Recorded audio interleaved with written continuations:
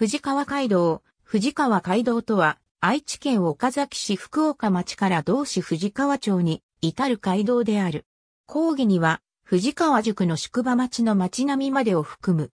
東海道の藤川で分岐して、三河湾のキラに至るキラ道の一部で、特に福岡を起点として、藤川宿に至る道筋を藤川街道と呼ぶ。藤川街道の名称は、明治の知見以後認定された愛知県の県道の正式な名称である。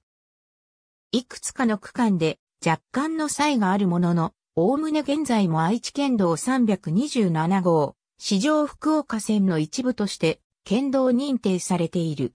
トロ通りの東端から上地にかけては、宅地造成が甚だしく何の上手もない。しかし、現在の岡崎医療刑務所正門前からの区間は、雰囲気が一変する。